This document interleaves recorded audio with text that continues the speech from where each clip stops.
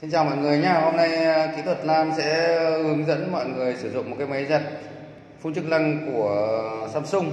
Nói chung là khá là hiện đại, dùng à, công nghệ mới. Rồi, xin mời.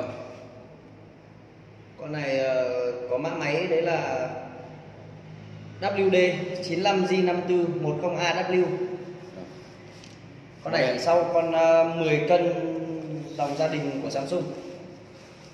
Con này có giá trên thị trường rất là khá là đắt và đợt này đang giảm giá.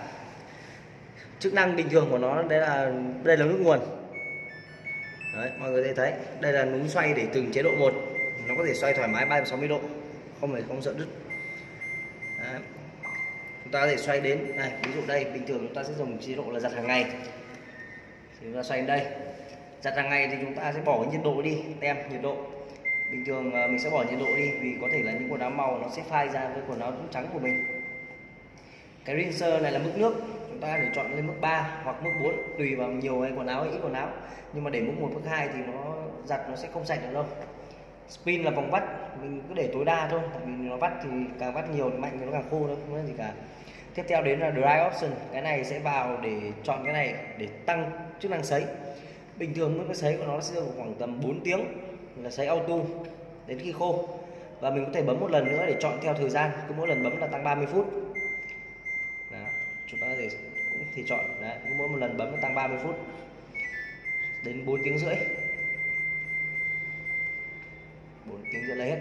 Tiếp theo là đến blue sắt con này sẽ là con này nó sẽ tùy vào từng chế độ. Nó có một vài cái có thể dùng được. Đấy, ví dụ như là giặt đồ len. Đấy giặt đồ tổng hợp thì mình có thể cho vào được.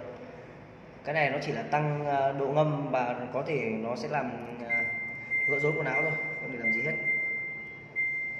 Đấy, chuyển đến mức hạt hàng ngày thì cái này tiếp theo đến uh, nút tiếp theo đây mình có thể thấy là nút cảm ứng là watt option.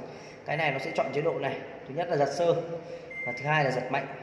Chúng ta thì giặt chọn là cả giặt sơ lẫn giặt mạnh hoặc tắt nó đi. Hướng dẫn chức năng cơ bản thôi. rồi thế là và khay đựng à, nước giặt này thì nó là thông thường giống như con à, những những Samsung còn lại.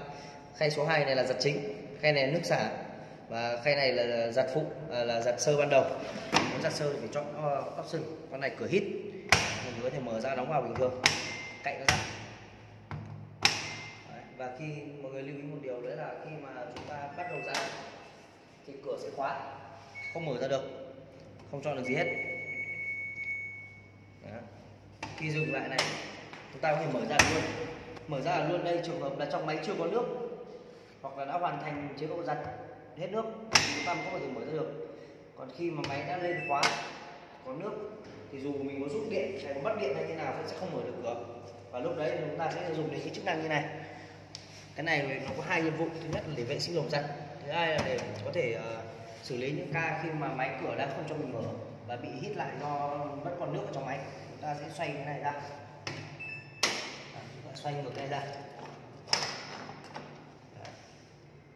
Để xả nhanh nước ra để có thể mở được cửa. Sau khi đấy là sẽ đóng lại.